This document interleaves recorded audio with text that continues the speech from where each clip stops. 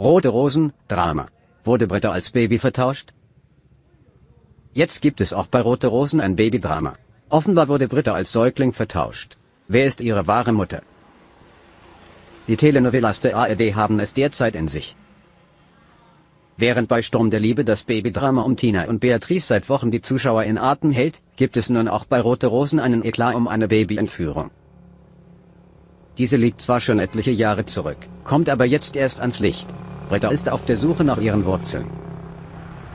Eigentlich ist für Britta Berge alles klar. Hannelore Thies, Clara Höfels, ist ihre Mutter. Doch während Hannelore vor kurzem im Krankenhaus eine merkwürdige Bemerkung fallen ließ, ist sich Britta plötzlich nicht mehr sicher.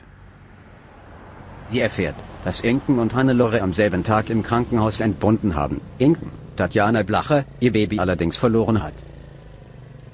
Zusätzlich versteht sich Britta sehr gut mit Inken und die beiden haben sogar dieselbe Allergie. Die Wahrheit kommt ans Licht. Die Vorschau von Rote Rosen verrät, ein Gentest zeigt, dass Inken tatsächlich die leibliche Mutter von Britta ist und nicht Hannelore.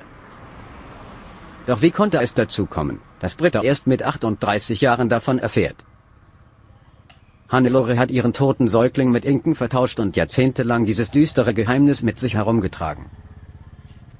Wer weiß, ob sie Britta jemals davon erzählt hätte.